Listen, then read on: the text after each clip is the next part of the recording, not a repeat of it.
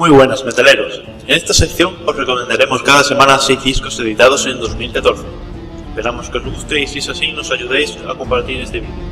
Recordad que la próxima semana os recomendaremos 6 nuevos trabajos. Si no os lo queréis perder, solo tenéis que suscribiros. Os dejamos con los 6 discos de esta semana.